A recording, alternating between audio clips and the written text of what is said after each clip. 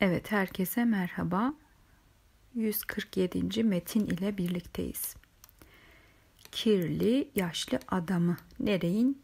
Avrupa'nın kirli yaşlı adamı. Burada kirli yaşlı bir adamdan bahsetmiyor. Mecazi olarak e, bu başlık kullanılmış. Şimdi e, metnin içeriğine baktığınızda siz de anlayacaksınız. Asit yağmurlarıdır biridir en ciddi problemlerin biridir. Çevre için en ciddi problemlerin biri asit yağmurlarıdır. O yani kastettiği asit yağmurları ona neden olunmaktadır.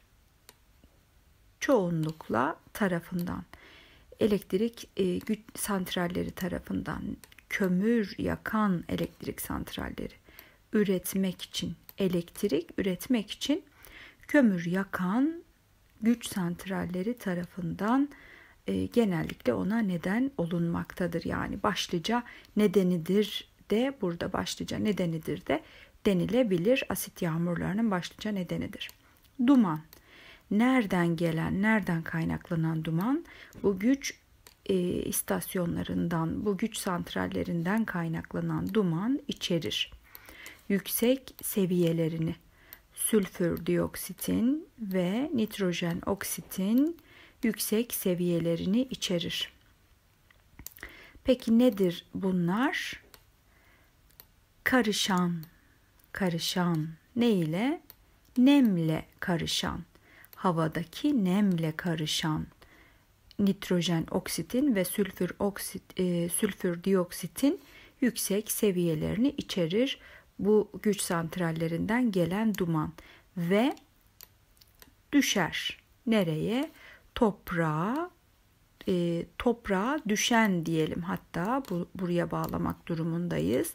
Toprağa düşen şeklinde e, yağmur ve kar formunda yani yağmur ve kar şeklinde toprağa düşen nitrojen oksit ve sülfür e, dioksitin yüksek seviyelerini içerir. Bu e, güç santrallerinden gelen duman. Asit yağmurları neden olur? Zarara. Binalara, tarlalara, balık ve balıkçılara, ormanlara ve göllere ve insan sağlığına e, zarara neden olur. İngiliz hükümeti yaptı, yaptı, yapmıştır. Çok az şey yapmıştır azaltmak için. Zararı azaltmak için. Neden olan zararı ne tarafından? Asit yağmurları tarafından neden olan zararı azaltmak için ne zaman? Son birkaç yılda asit yağmurları tarafından neden olunan zararı azaltmak için İngiliz hükümeti çok az şey yapmıştır. Bu zarar mal olur Avrupa topluluğuna daha fazlasına neyden 12 milyondan her yıl 12 milyon dolardan daha fazlasına mal olur. Çevreciler keşfetmiştir, keşfetti. Neyi? İngiliz, e, e, İngiltere'nin sorumlu olduğunu keşfetti. En büyük miktarından sorumlu olduğunu, Avrupa hava kirliliğinin en büyük miktarından sorumlu olduğunu keşfetti çevreciler. Fakat hükümet sadece son yıllarda karar vermiştir. Neye? Herhangi bir önlem almaya, hareket etmeye, herhangi bir önlem almaya son yıllarda karar verdi. Asit yağmurları düştüğü zaman, toprağa düştüğü zaman o emer, alüminyumu emer. Topraktan alüminyumu emer ve taşır onu nehirlere ve göllere onu taşır. 1980'de şu tarihte bir rapor e, şurada yayınlanan bir rapor ileri sürdü, öne sürdü bir bağlantı olduğunu arasında. Ne ile ne arasında bir bağlantıyı öne sürmüş bu rapor? senile demente zayıflığı nedir? Akıl zayıflığı olan işte şu rahatsızlık ve alüminyum. İçme suyundaki alüminyum.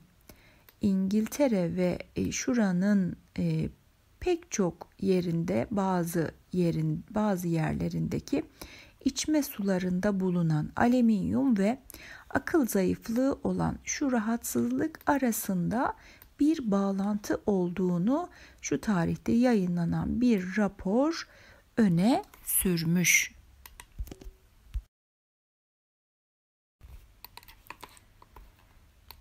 O düştüğü zaman toprağa, e, bitkilere düştüğü zaman ağaçlar da dahil asit yağmurları yani odan kastettiği asit yağmurları bitkilere ağaçlar da dahil bitkilere düştüğü zaman asit yağmurları neden olur?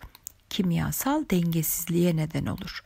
Sonuçlanan, ölümle sonuçlanan kimyasal dengesizliğe neden olur. Asit yağmurları ağaçlar e, ve toprağa, e, bitkilere düştüğü zaman. 1985'te bir anket tarafından yürütülen dünyanın arkadaşları tarafından yürütülen bir anket keşfetti. Neyi keşfetti? Neyi keşfetti? Daha fazlası. Üçte ikiden daha fazlası ağaçların incelenen ağaçların üçte ikiden daha fazlasının ma, e, muzdarip olduğunu, muzdarip olduğunu, acı çektiğini. Neyden? Asit yağmurlarının etkilerinden muzdarip olduğunu keşfetti dünyanın arkadaşları. Ağaçların üçte ikisinin asit yağmurlarının etkilerinden muzdarip olduğunu keşfetti. İngiltere ve özellikle Merkezi Elektrik Üretim Kurulu'dur. En büyük tek kirleticisidir Avrupa havasının.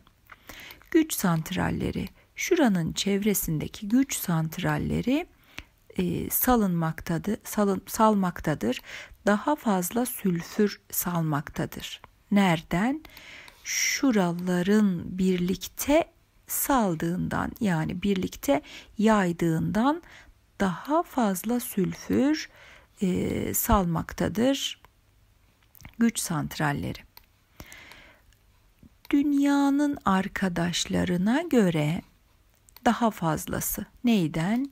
%70'den İngiliz sülfür emisyonunun %70'inden daha fazlası düşer İngiltere dışına düşer. Neden? Hava hareketlerinden dolayı. Nereden nereye kadar? Britanya adalarından e, kıta Avrupa kıtasına kadar e, hava hareketlerinden dolayı İngiltere dışına düşer yüzde yetmişinden daha fazlası. Bu dur biridir. Nedenlerinin biridir. Avrupa'da asit yağmurlarının nedenlerinden biridir bu. Diğer Avrupa milletleri zararı gördü ve başladı harekete geçmeye başladı. Onlar kurdu bir e, kulüp kurdu.